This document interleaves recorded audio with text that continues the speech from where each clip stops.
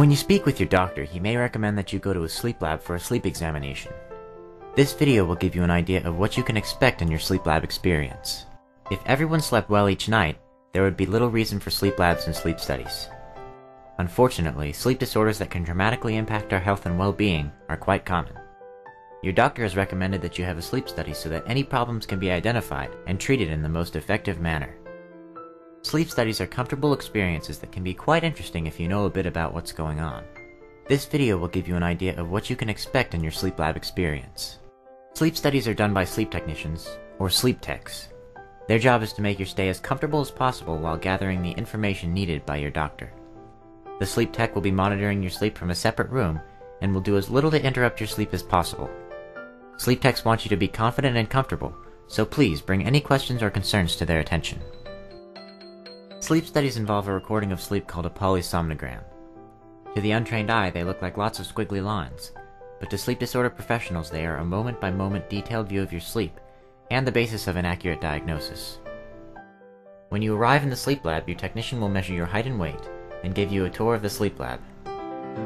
Most rooms are equipped with a TV to help patients feel more at home. Rooms are also equipped with infrared cameras and infrared sources so that sleep techs can observe and record your sleep. You may be in the dark, but you are not unseen. It is soon time to get ready for bed. Prepare for tonight as you would any night of sleep. An area for changing, brushing your teeth, washing your face, and other sleep preparation activities is provided for you. Soon your sleep tech will be ready to connect you to a number of devices that will measure your sleep patterns. While getting hooked up, your job is to stay relaxed and responsive to the sleep tech. Your sleep tech is trained to ensure that the process goes smoothly and comfortably for you.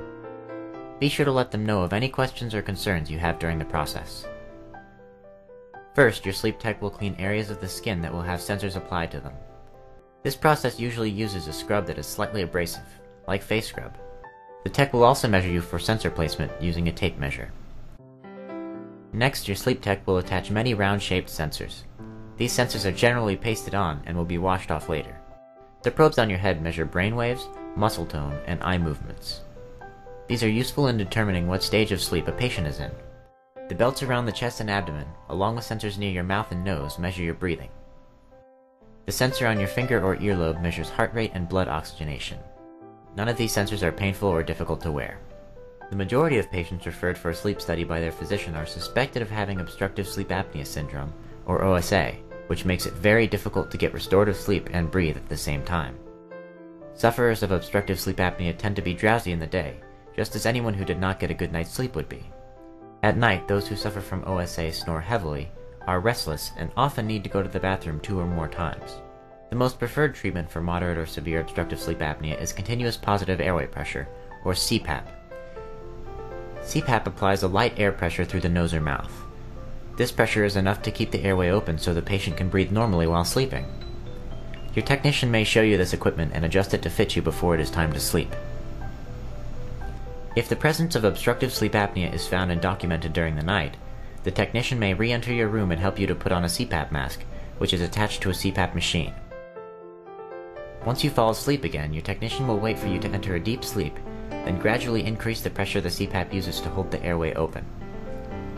The CPAP can end the struggle to breathe during deep sleep, allowing the user to get the sleep and air they need.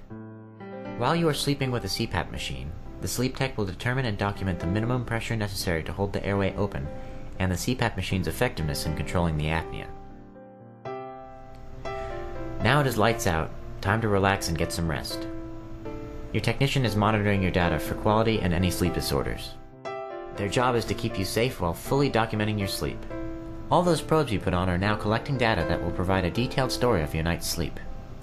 A definitive diagnosis can be made later by a physician sleep specialist using the data collected. When morning comes, your technician will wake you and remove all probes. The data is gathered and will be organized and scored before being reviewed by a physician specializing in sleep medicine. Your sleep study is the result, a detailed record of your body's sleep, along with any diagnosis and treatment recommendations. Please remember that although the technician has monitored your sleep all night, it is only after the data is analyzed by a physician that the diagnosis can be made.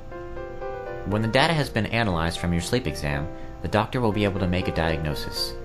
He will inform you of what may or may not be wrong, and possible treatment options.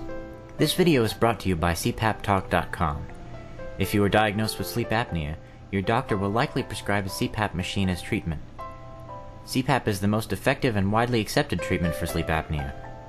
Adjusting to your CPAP machine can be challenging, but you are not alone. CPAPtalk.com is an online CPAP community that provides information and support for CPAP users. If you would like help from people who have already adjusted successfully to CPAP treatment, please visit cpaptalk.com today.